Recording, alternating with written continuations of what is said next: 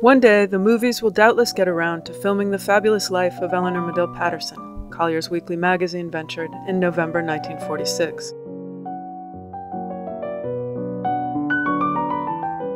Earlier that fall, Eleanor Medill Patterson had been selected to fill the void left by the recent death of her brother, Joseph Medill Patterson, as chairman of the board of the New York Daily News.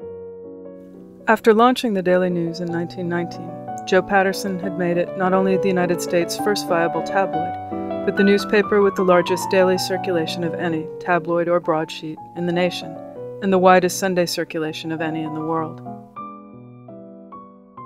The choice of the late publisher's sister had not been an exclusively sentimental one. In her own right, Eleanor Medill Patterson was already owner and publisher of the most widely read daily in the nation's capital, the Washington Times Herald, called by many, both inside and out of the profession, the damnedest newspaper ever to hit the streets.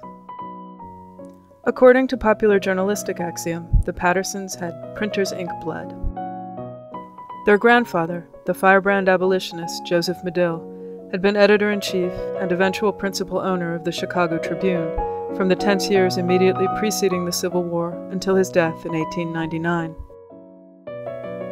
Eleanor Medill Patterson, as both the youngest and the only girl of her generation among fractious boys, had been her grandfather's darling.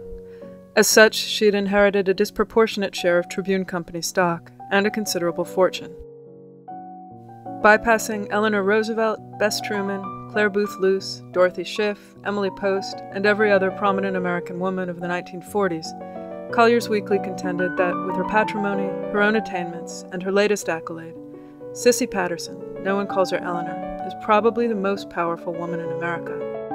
It added, and perhaps the most hated.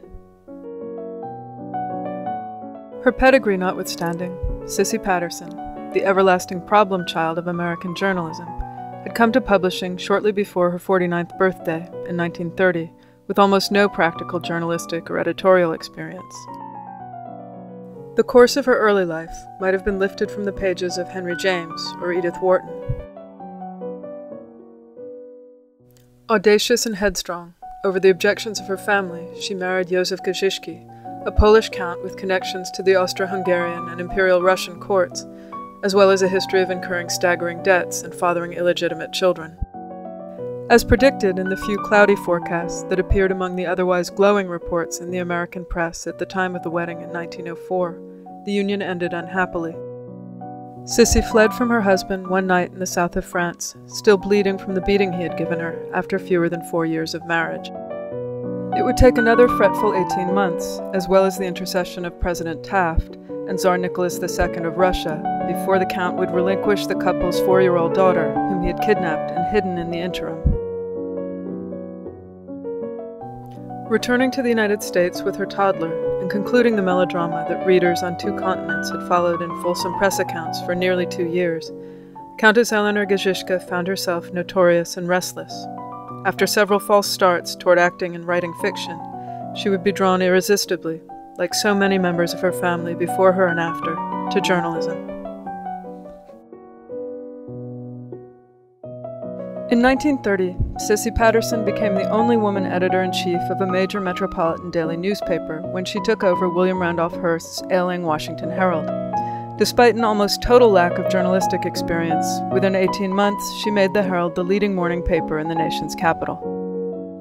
By 1936, she had doubled the Herald's circulation. In 1937, she took over the other local Hearst paper, the Evening Washington Times.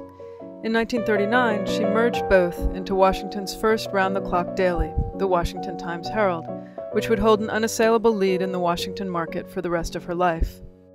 By 1945, the salacious, pugnacious, rabidly isolationist, picture packed Times Herald cleared more than a million dollars in profit yearly. And Cissy Patterson had made herself, as Collier's Weekly put it, probably the most powerful woman in America, and perhaps the most hated by making full use of her grandfather Medill's editorial motto When your grandmother gets raped, put it on the front page.